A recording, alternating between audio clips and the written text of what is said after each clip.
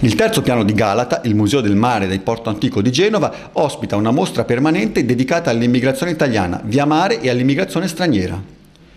Il visitatore è condotto lungo un itinerario che comincia dalla Genova di fine Ottocento, punto di partenza per il viaggio della speranza verso l'America, e arriva fino ai giorni nostri, ai barconi di Lampedusa e al difficile ma affascinante cammino verso l'integrazione di chi cerca l'America in Italia. Ad ogni visitatore all'ingresso viene consegnato un passaporto appartenuto ad un migrante del passato di cui può rivivere la storia grazie ad oltre 40 postazioni multimediali, molte delle quali interattive. L'esposizione racconta il fenomeno migratorio con un allestimento molto curato, che ricostruisce i vicoli di Genova, il piroscafo città di Torino, utilizzato per la traversata dell'oceano, fino ai luoghi di approdo come Ellis Island a New York, il coloratissimo quartiere della Boca di Buenos Aires, fino alla foresta brasiliana. L'ultima sezione è dedicata all'immigrazione in Italia, con un richiamo forte alla tragedia degli sbarchi, ma anche al processo di integrazione che passa dal lavoro, dalla scuola e dalla cucina, insomma dalla vita di ogni giorno.